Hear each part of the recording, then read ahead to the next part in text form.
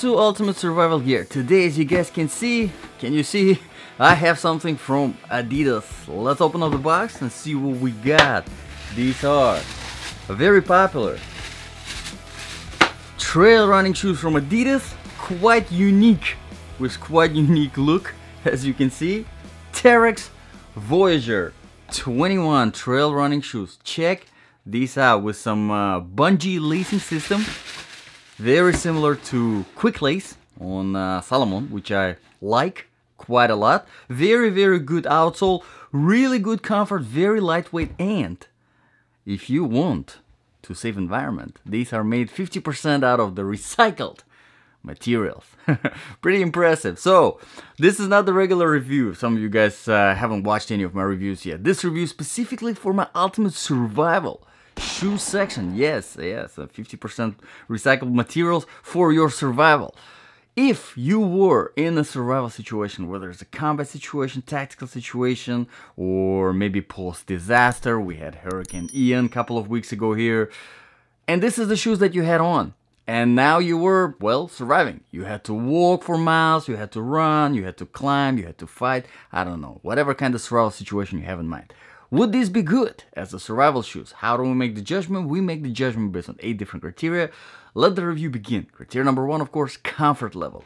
And in order to test the comfort level of all the shoes and boots that are reviewed on this channel, I do a 3 mile run, non-stop, no pauses in between, and then I do a 5 mile walk right after. No pauses, no stops. And then I continue wearing the shoes for the rest of the day for a total of 8 hours. And I do it for everything I review on this channel so that the, my judgment is very, very kind of uh, that there's a big, good baseline and I can judge off of it.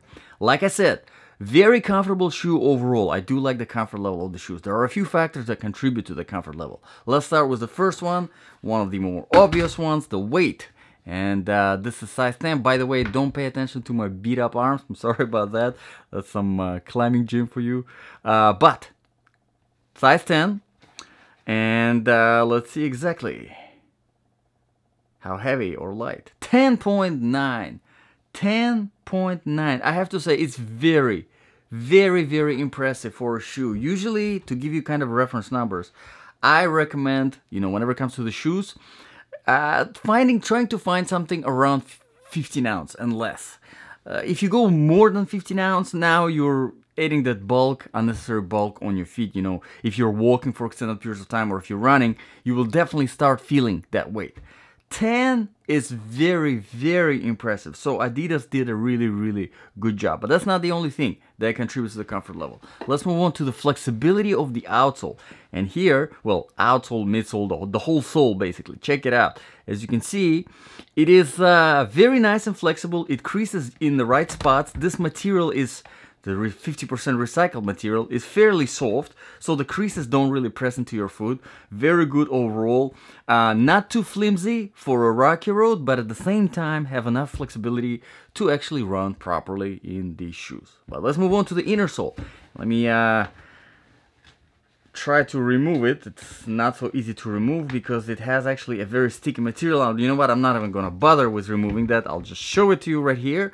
But the inner sole is very, very basic. There is no defined heel bed. There is no defined defined arch support. I know some people prefer it. Some people like a little bit of a support. If you like a little bit of uh, firmer, flatter inner sole and feel to it, you're gonna appreciate this. If not, well, you might probably wanna look around some more. Let's move on to some padding. Here's the thing, that's another thing that is kind of like very, very personal preference. Uh, there's not much padding. The tongue, no padding. Shaft, no padding. The heel has barely just a tiny little bit. Throughout the whole shoe, you don't really have any padding at all. This material, which actually feels like Cordura, and uh, yeah, it's uh, the no padding at all. It just goes straight into it. And uh, I, to me personally, I if you if you're getting these shoes, especially for the trail run, I would recommend probably thicker socks just to add a little bit more cushioning to you know overall. Get get yourself a good pair of uh, darn tough socks, and you're gonna appreciate these shoes quite a lot compared to without it. Uh, all right, so overall on the comfort level, I think it's a good overall comfort level, but it's definitely personal preference. Do you want a little bit, you know, less, lighter, and not all this padding, all this cushioning, just just you know, hardcore, lightweight trail running shoe? Or if you want some more padding. If you want some more padding, you probably want to look around some more. Let's move on to the criteria number two, proofing and protection. Okay, so these are advertised as water resistant, which which is nothing basically. These are not waterproof, yeah. But again, with the shoes, I really don't care because you really don't have that much of uh, the clearance anyway to for waterproofing to be effective. So I, I don't worry about that. Whenever it comes to the protection, again, not much. There's a little bit. I, I wanted to say reinforcement, but really this is this is no reinforcement at all. It's just a design feature. This is super soft. You drop anything, you drop a breadcrumb on the toe and you're gonna feel it. So keep that in mind. If you're rock, running on a rocky road, just don't make sure the rocks don't fall on top of your foot because that's not gonna feel good. Obviously, no pr- protection in the shaft, in the heel. Heel is very soft. Uh, there's decent amount of um, protection from the outsole, but we will talk about the outsole later. So let's move on to the criteria number three now: quality and design features. Quality-wise, Adidas Terrex honestly i have been uh, quite impressed with them so far. And interestingly most of the stuff that i reviewed it was very universal so most people will like it.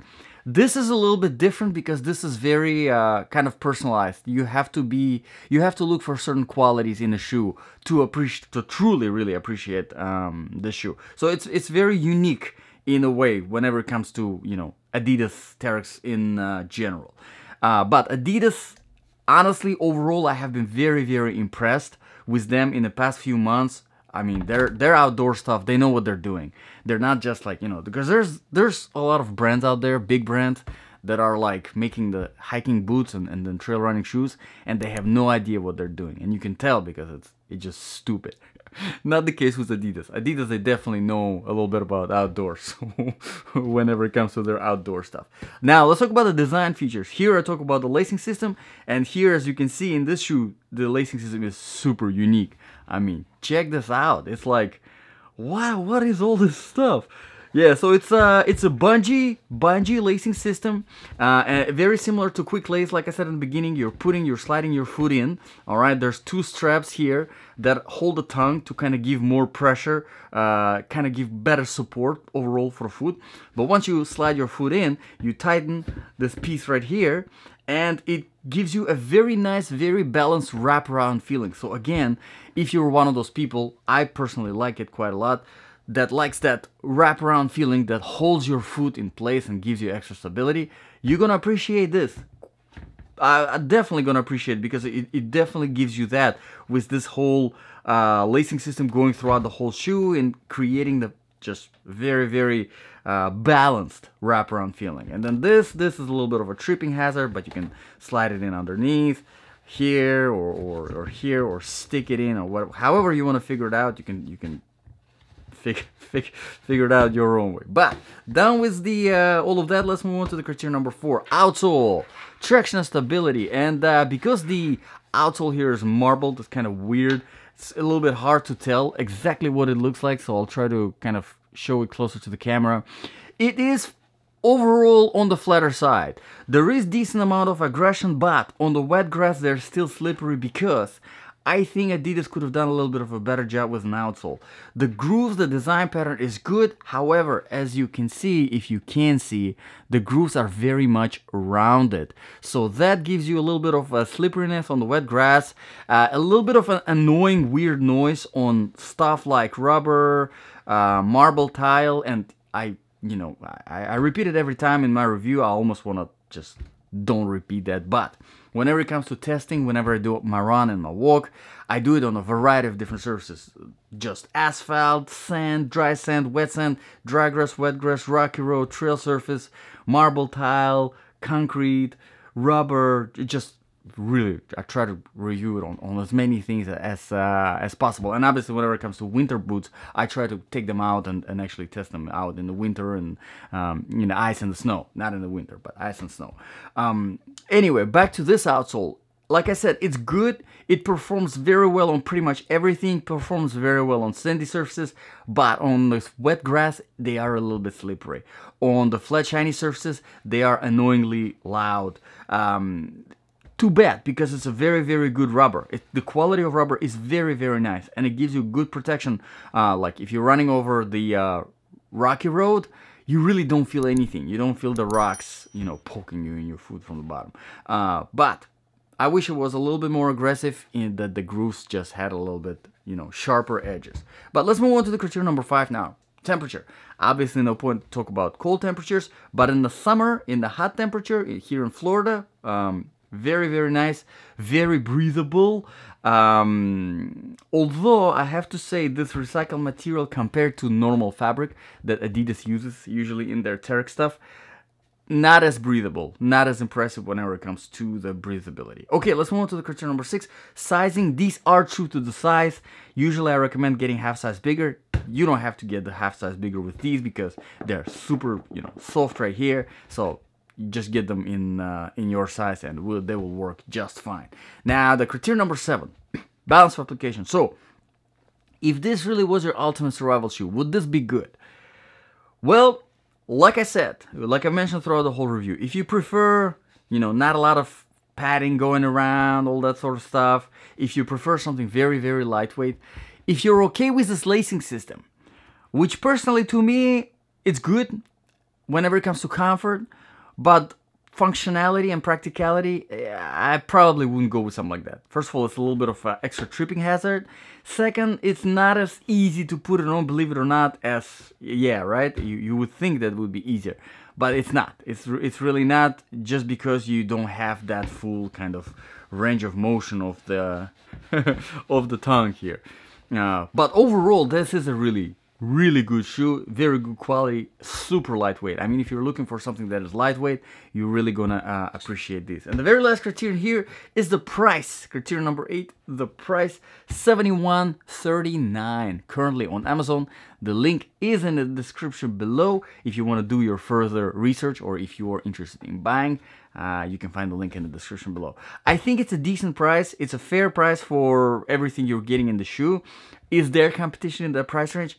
Absolutely. There is some really serious competition uh, for the this specific adidas shoe uh, from adidas themselves from saucony from well salomon no you're not gonna get that in the price but saucony i would say saucony and adidas themselves would be the biggest competition to this shoe because in that price range you might be able to find something better.